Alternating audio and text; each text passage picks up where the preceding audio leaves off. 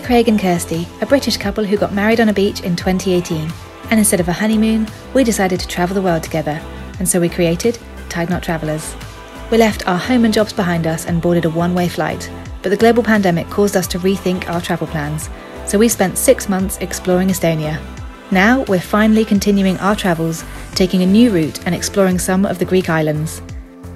Between us, we have visited 52 countries, and we'd love you to join us as we continue our travels and explore the world.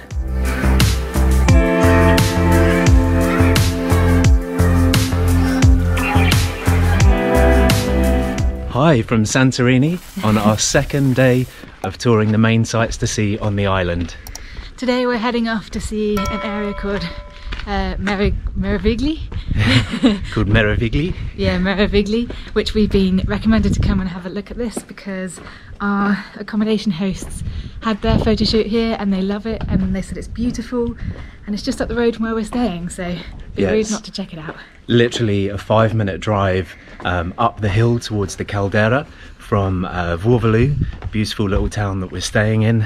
And we're in Meravigli now. Wow. And we've just walked over, and the view of the caldera here is absolutely spectacular. Yeah. So, in terms of where we've come, we were in the northern part exploring Oia, and we've come around to about halfway down the island, but on the west hand side of the land. So, our plan is to explore Meravigli, and it's effectively joined to the main town of Thera. So, we're going to walk from here further south and explore Thera into the evening.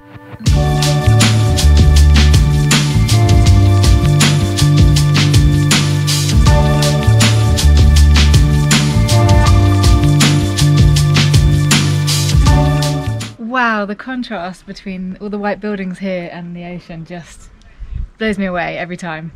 Been in Santorini for a few days now and I'm still just wowed by it. Amazing. The view on the western side of Santorini is just spectacular. It's literally like a grandstand from a high up view that looks out across the good way of volcano. As Kirsty touched on, the really, really stark contrast of the white and blue buildings against the dark volcanic rock. The volcano in the centre just looks spectacular, and we've booked a trip.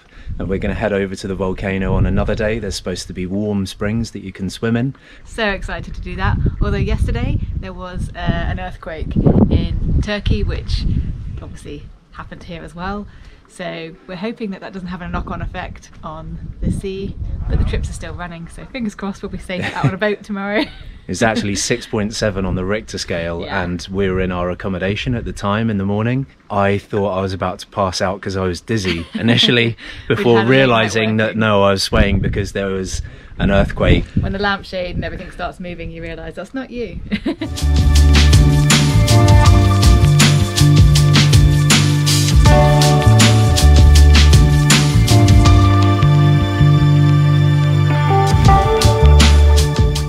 This is the volcano in the center. That's where we're going to be making the trip. And in a second, we're going to head down here and take a walk around that rock before then heading south from here on foot to Thira, which is the main town in Santorini.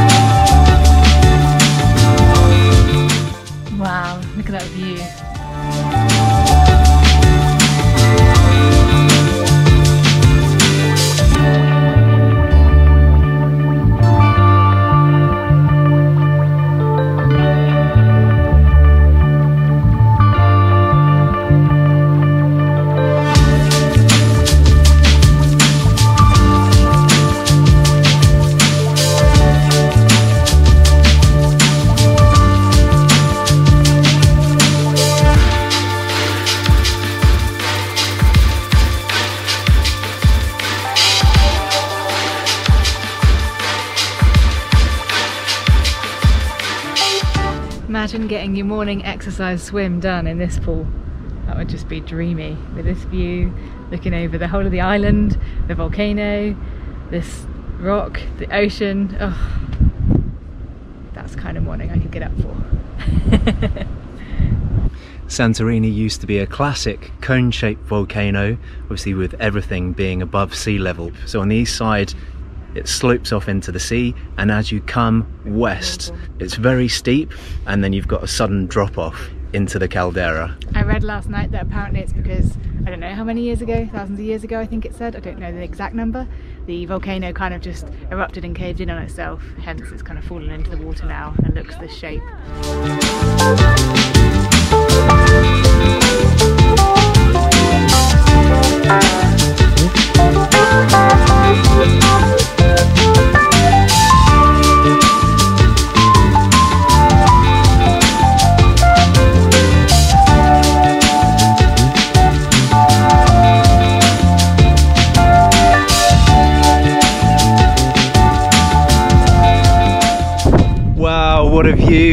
Quite a stunning walk from Meraviglia around this rock. Yeah, I'm not gonna lie, walking around um, a volcanic rock the day after an earthquake is a little bit scary, but I'm really glad we did it because this island is just so impressive. It blows my mind that this entire island is volcanic. The way it's done and how beautiful it looks and really clever of them to make everything white because the contrast. The nature side of it is, in, is, is just mind-blowing and then with what the people have done to make it look so beautiful and picturesque the two things together are just yeah you can see why it's all over instagram So dramatic.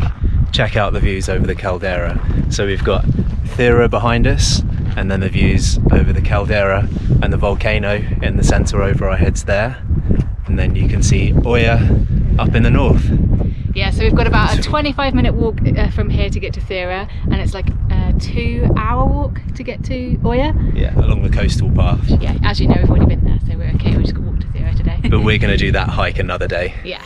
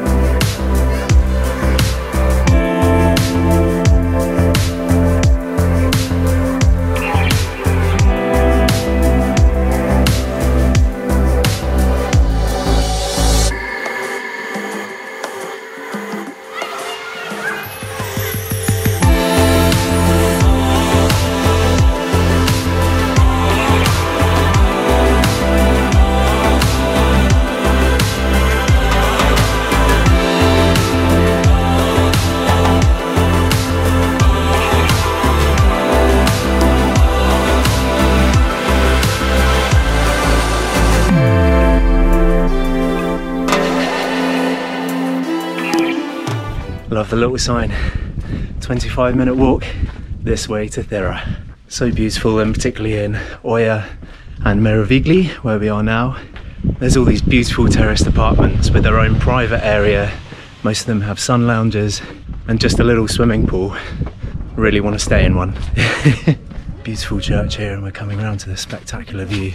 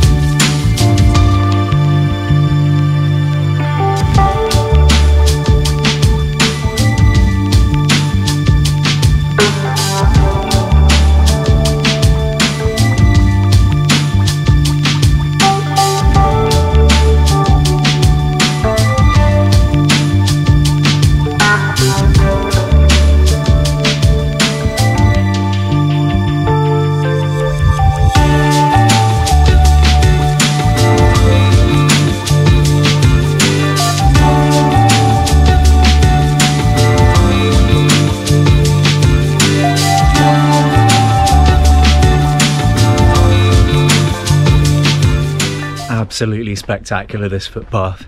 And the best part of it is that you have sea to the left and sea to the right. It's never bad when you're walking along a footpath where you're surrounded by sea both sides. Beautiful. Hi, kitty.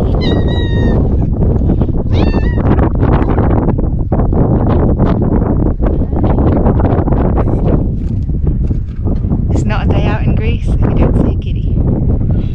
It's a boy cat. What a great view. what gave that away, I wonder? He just showed me that he's a boy cat. what a great view this kitty has over here.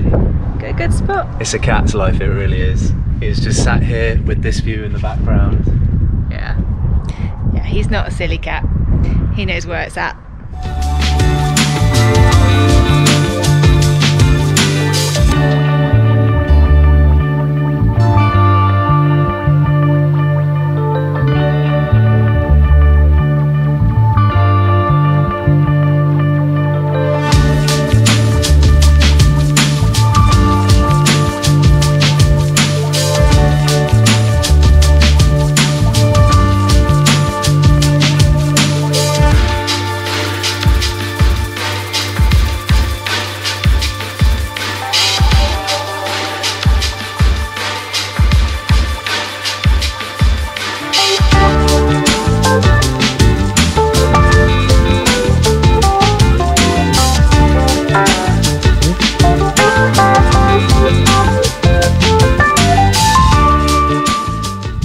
Funny. Everything I do, I just walk along and then I just notice, like, oh, being stared at. It's just gonna follow me now for a bit. Hey, kitty. just looked up and realised he was staring at me for ages. it's unnerving. You know, you get that feeling you're being watched, and then you just peek over, and then in a bush, there's just a little kitty cat staring at you. Yeah, see, he's he's lagging back there now. He's pretending because he knows I cottoned onto him.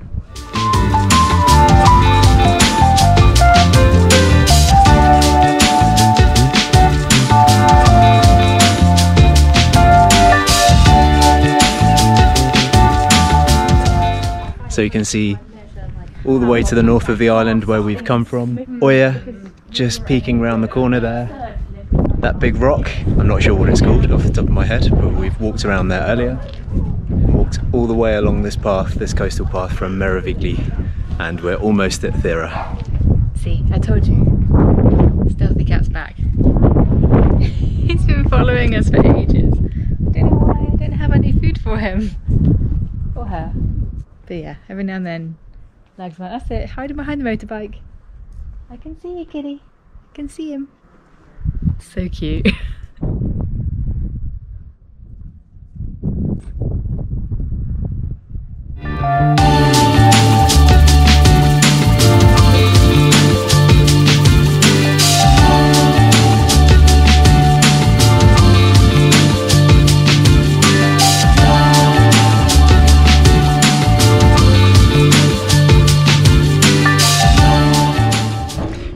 out this restaurant. What a place to have dinner that is.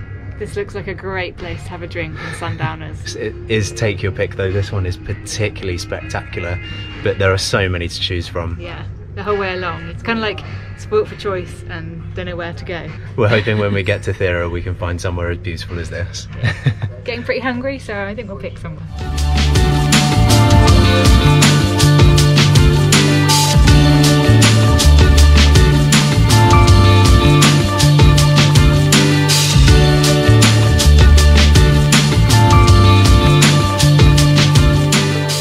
Just down there is Thera.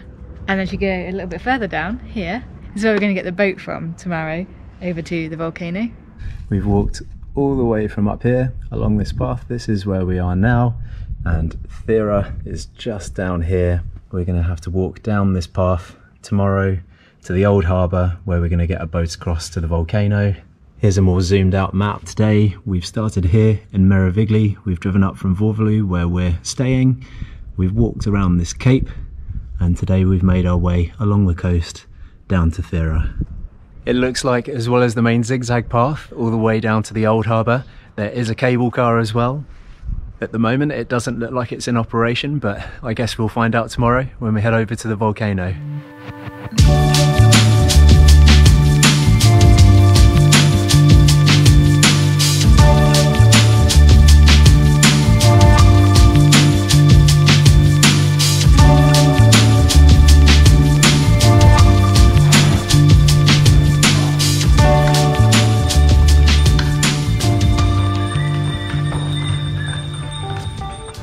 The donkeys. Their little bells. Ding ding ding. So cute the way they walk in a little train. Because they have to, they're joined together.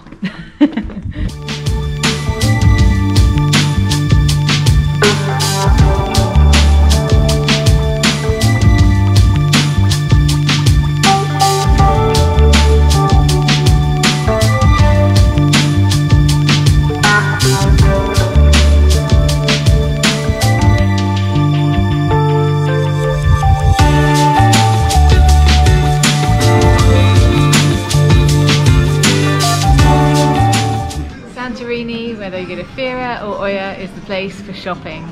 Definitely if you want jewellery or shoes or clothes, they have it all. And it's all just so beautifully displayed in these cute little white streets with cobblestones. Shopping paradise. It is a little bit quieter than usual, obviously given what's happened this year. Um, so you can see there's a few shutters down, but there is still a lot to see. There is still a lot open, and there's lots of little streets. Every which way you look, they all dive off left and right. Um, Quite like that it's quieter. plenty. yeah. It's nice, gives you the space to kind of breathe and to see it all. From a selfish perspective, you do have space to look around and yeah, and they're such tiny and, uh, streets. It's a good thing they're fairly empty. Imagine in the summertime, in a normal year, in a non-COVID year, Yeah. it's probably pretty pretty jammed in these little streets. and we've arrived in Thira just in time for sunset. Such a beautiful time of day, great light.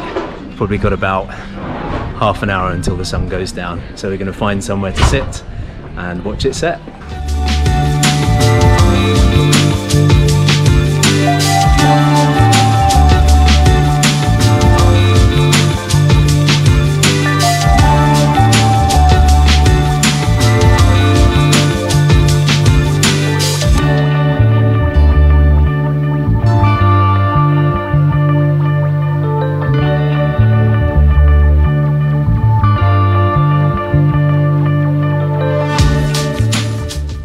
So we've arrived in Thira, the main town in Santorini, and it looks like this is the uh, very calm side of Thira, the side that faces the caldera. A lot of people gather here at this time of day to watch the sunset.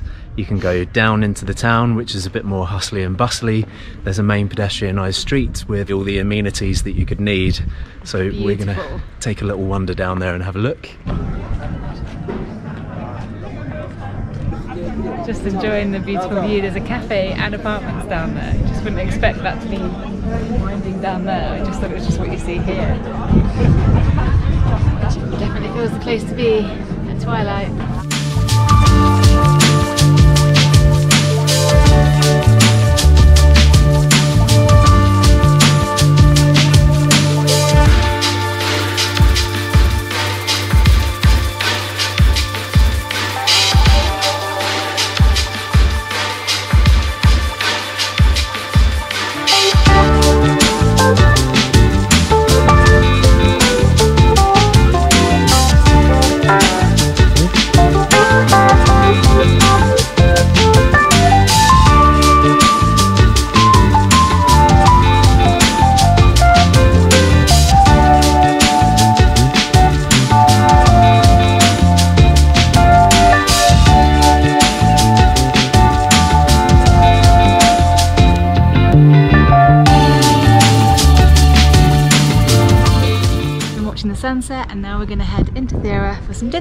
What a beautiful sunset. Seriously, Santorini is the place for sunsets. Yeah.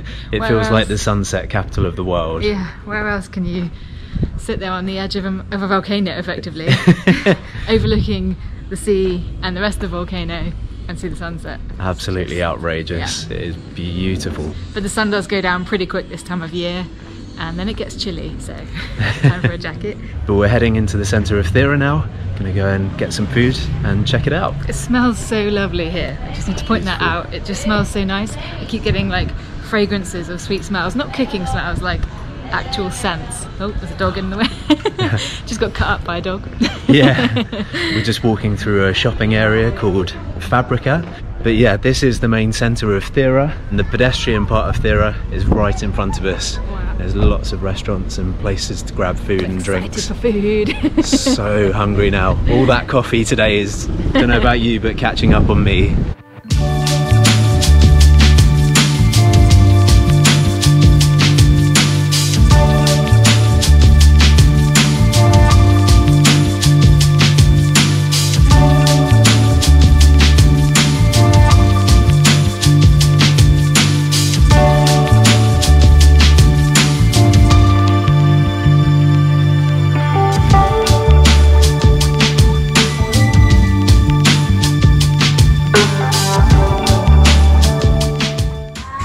restaurant.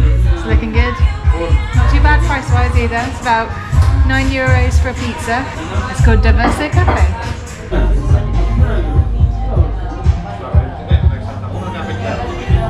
I'm so excited for this pizza. it's been a long time coming. I've got a ham and bacon and pepper and mushroom pizza. It looks fantastic. And wifey has And I've got a Greek pizza with a really fancy bottle of water. vegetarian. Yeah, it's vegetarian, obviously. That's a given.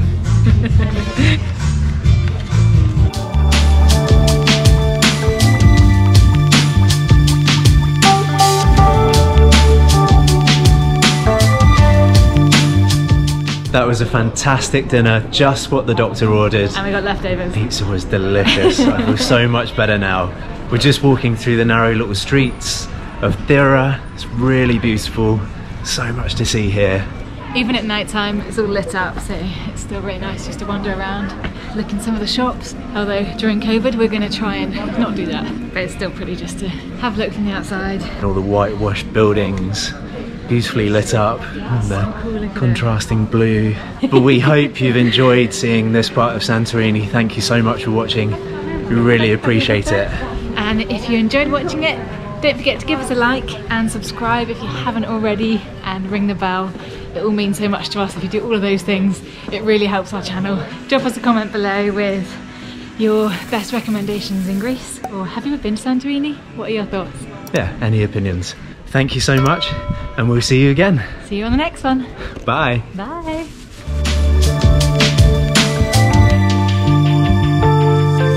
Join us next time as we take a boat across the caldera and set foot on an active volcano. We take a dip in a hot spring and visit the island of Thirasia for some lunch, before taking on the many steps back up to Thera. If you can't wait that long, head over to our Instagram at Tide Knot Travellers for daily updates on what we're currently up to and what's coming up in our future videos.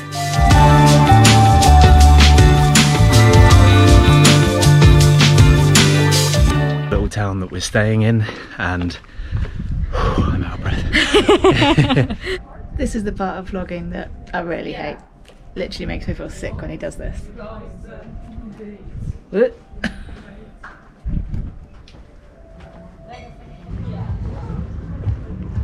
Oh, you want me to do something? Yeah, go on. So much to see here. You gonna say anything? Yeah, even at night time.